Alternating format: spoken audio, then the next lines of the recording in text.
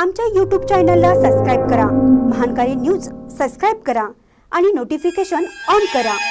Notification on केल्यामुळे आमचे update आपल्यापर्यंत सतत पोहोचेल.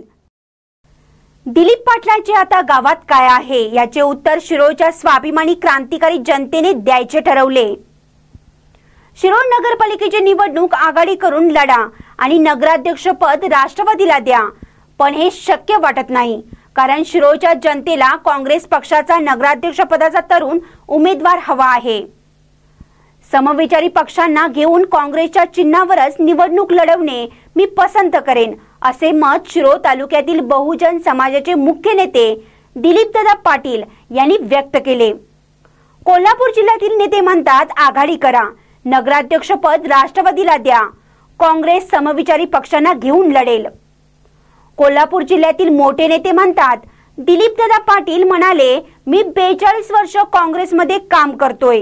लढाऊ कार्यकर्ता आहे आणि गावातील पुढाऱ्यांना असे वाटत आहे की दिलीप पाटील आता हद्दपार झाला. दिलीप पाटलाच्या आता गावात काय आहे या सगळ्याचे उत्तर शिरोच्या स्वाभिमानी क्रांतिकारी जनतेने द्यायचे ठरवले आहे. आणि नगरपालिका निवडणुकीत जनता हे उत्तर देणार आहे. काँग्रेसच्या चिन्हावरच तरुणाला नगराध्यक्ष पदासाठी आणि नगरसेवक पदासाठी समविचारी पक्षांना घेऊन निवडणुकीची रणनीती आखली जाईल आणि लढवली जाईल. महानकारे न्यूजसाठी शिरोळहून संदीप इंगळे. एक दोन तीन दिवसापूर्वीच मला माझ्या ऐकण्यात आलं. अजून मला काय तसं पक्षीयाकडनं कुठल्या सांगितलेलं नाही. परंतु महाराष्ट्रात परिवर्तन यात्रा काढायचं काहीतरी धोरण ठरलेलं आहे. आमचं हरकत नाही. परंतु या महाराष्ट्रातल्या जनतेवर काय अन्याय या भाजप सरकारनं केलेला आहे? किंवा अन्य पक्षी मंडळींनी केलेलं आहे हे संपूर्ण सामान्यातल्या सामान्य जनतेला शेतकऱ्याला कामगाराला माहीत झालेलं आहे. सामान्य जनता ही काँग्रेसवर जायच्या विचारात आहे. परंतु त्यांचं परिवर्तन करायची गरज तुम्ही नाही आता. माझं मत या नेत्यांचं आहे. नेत्यांनीच आपापली कलुषित झालेली मतं त्याच्यामध्ये परिवर्तन करा. आणि हे सगळ्यात महत्त्वाचं आहे. आज सामान्य जनता भरली जायला लागलेली आहे. आणि तुम्ही मात्र तुमच्यातल्या लाताळी तुमच्यातल्या ॲडजस्टमेंट यासाठी सामान्यातल्या सामान्य माणसाला बळी देण्याचा जे उद्योग करताय त्यात पहिला परिवर्तन करा. आणि मग जनतेजवळ जावा.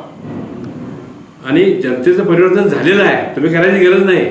जनतेला कळालेलं आहे कोण चांगलं कोण वाईट. कुणी काय केलंय?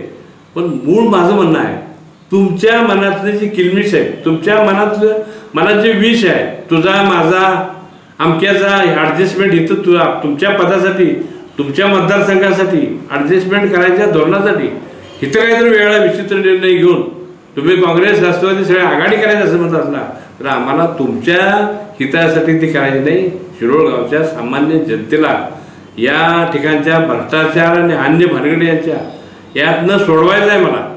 त्यामुळं तुम्ही सांगतील सांगाल ते मी ऐकणार नाही. परिवर्तन माझं म्हणून नाही आज म्हणणं आहे. माझं एकट्याचं नाही तर महाराष्ट्रातल्या आम जनतेचं म्हणणं आहे की नेत्यानं तुमच्या मनातलं परिवर्तन करा. तुमच्या मनात जी बेदिली एकमेकांच्या महाराष्ट्राने मी जवळ बघितलं आहे. नावं घेऊन मी सांगेन तुमची सगळ्यांची. आणि हे राहुल गांधींच्यापर्यंत मी जाणार आहे.